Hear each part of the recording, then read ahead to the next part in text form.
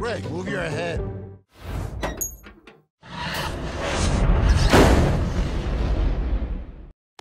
On the one hour season finale of Romeo, the big time beckons. Hollywood? But it's a long way to LA. Are You sure we don't need to tell Dad? He'll be fine. You sure he will? No, but saying that makes me feel better. Is this their big break?